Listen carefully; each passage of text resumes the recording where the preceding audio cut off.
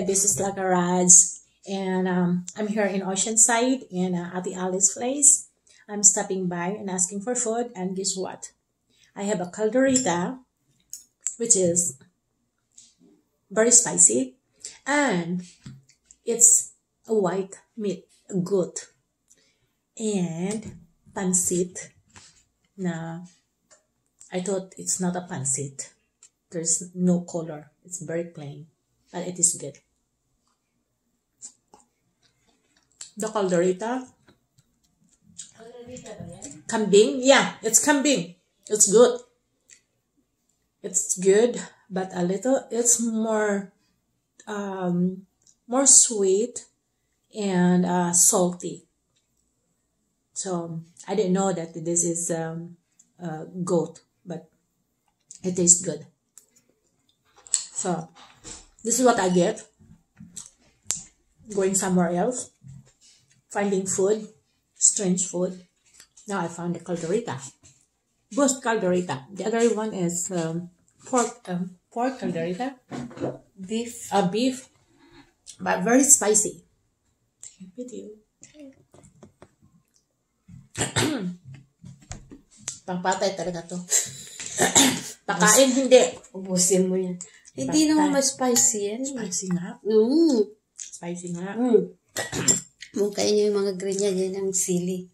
Ay, sus! Spicy, kaya siguro. But Yan, yan. Yes! Yeah. Ha! Kaya nga pala siguro nandito ang ang sobrang anghang. Nilagay ko yan lahat yan dahil. Kinakain ko yan. Pero, it is good. So, Alam mo mga pa nagluto. Namiss mo yung luto ka, no?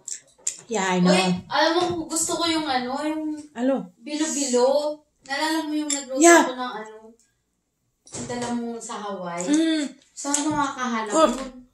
hindi, punta tayo ng Hawaii. Kasi sa, Haw- sa Hawaii yung taro eh. Wala ba mabili niyan? Uy, pag may makita Merong taro dito. pag may makita ka, magbili ka ha. Mm. Ikaw- ikaw- Merong taro dito. Galing mo So now we're, we're, we're talking about below below. It's Benignet and Bisaya. Sino si Chance? No, talking to myself. Hmm? Huwag mong banggitin yung mga tao. Why? Wala na kayo, no? Huwag mong banggitin yung mga tao na Pass, pass do na? past doon na nag-expired na masama na yung kakainin. Pass do. Mal- Nag-pass, Mapweso na ako dyan. pass do na pa. Mapweso na ako dyan. Hindi ako mapweso sa pagkain nito. so, Mapweso ako sa so na pas. nag-pass do na ba yun? Pasok ako sa um, Expired? Nag-expired? Sila talaga tong kausap ko dito. Pinapakain pa ko nitong ano, maanghang. Mhm.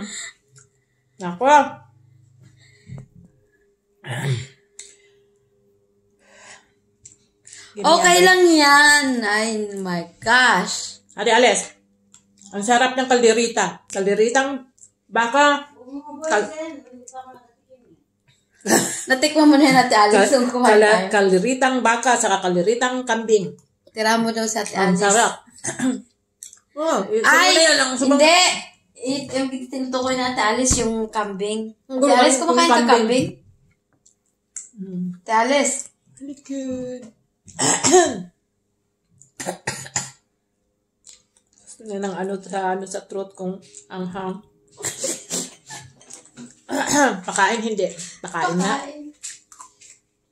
Ate Alice, papalitan papalitan I need to walk after this.